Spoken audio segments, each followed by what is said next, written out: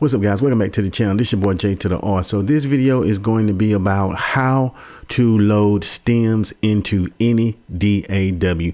It always works the same for the most part. It works the same for uh, Reaper. It works the same for PreSonus. It works the same for Pro Tools. It works the same for, for Cubase. It all works the same.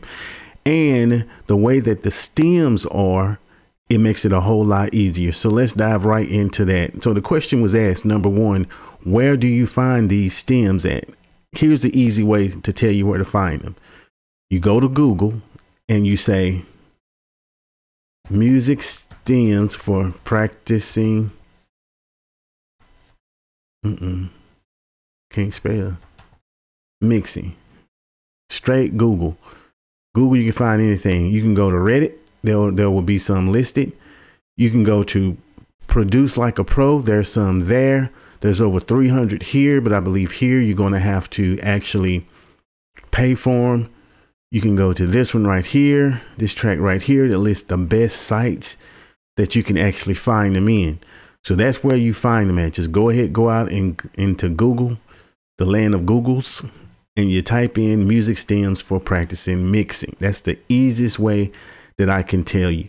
And if you want genre specific, add add your genre in there and hope for the best. That's all you got to do.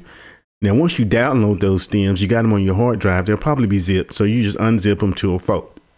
You just unzip them to a folder and whatnot, and go to your favorite DAW. In this particular instance, we are going to be using PreSonus Studio One. Now, in PreSonus Studio One, it's real simple. You can come over here to Files and if you extracted them to one of your folders that you have over here on this side, that's great. But why go through that trouble? All you have to do is come up to song, import file, go to where you downloaded them, which is usually in your download folder, and you highlight them all, which is control A. You can even play them if you want to, and then you hit open. And there you go.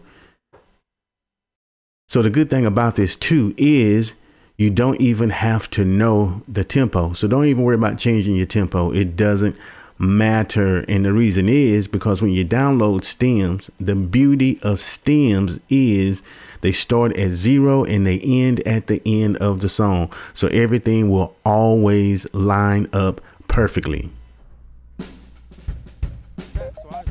See that? I didn't have to do nothing. All I had to do was import.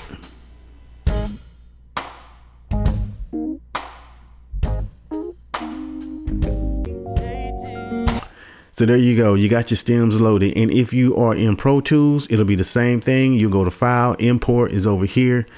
Uh, I think it's over under File under Cubase.